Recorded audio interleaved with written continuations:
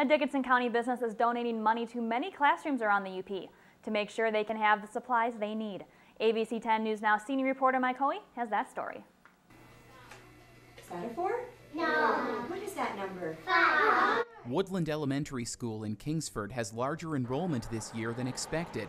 Jen Christie's classroom was put together the week before school started in a last ditch effort to reduce class size. That wasn't enough time to budget for all of the supplies that the kids could use, so she's gone to the internet for help. This classroom was added this year, and so it was basically an empty classroom when I got there, and this will give us some counters, things that they can sort by attributes, by color, shape, things that they can graph. Um, this will give them a chance to work socially with each other and interact and use their math skills. She's posted a classroom supplies project and request for donations online at donorschoose.org. This is a wonderful opportunity for classrooms to get supplies that they need for their students that we often, school budgets can't provide.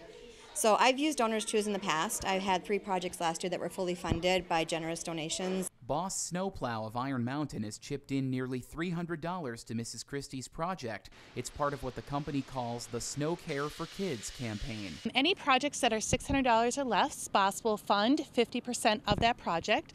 The remaining 50% will need to be funded by the local community. Along with Mrs. Christie's project, 10 more projects for Upper Peninsula schools are on donorschoose.org right now. They're from schools in Negaunee, Escanaba, and Newberry, among others. Anyone who buys a Boss snowplow in the UP or northern Wisconsin can chip in as well. Boss will give you the money. All you need to do is decide which school project should receive it. Any new Boss product um, will receive a $50 gift card to Donors Choose. And then those snowplow owners now can go out and help their local schools by funding these projects. Snow Care for Kids lasts through March 31st. Mike Hoey, ABC 10 and CW5 News Now.